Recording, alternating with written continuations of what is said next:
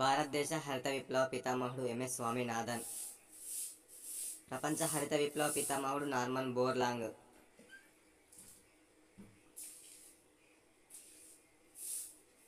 చిప్కో ఉద్యమకర్త సుందర్లాల్ బహుగుణ.